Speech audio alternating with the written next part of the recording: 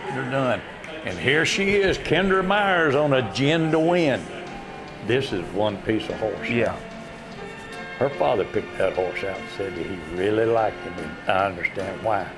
Because that horse Oh yeah. can get it done. And been winning for a good while now. Yeah, he is. Yes. It is. Anytime he's in there, he, he's working for the top slot. Yeah. And normally he'll he'll get it. He's just a good horse from start to finish. Purdy, and I mean Purdy, big black stud. Yeah. I mean he can he can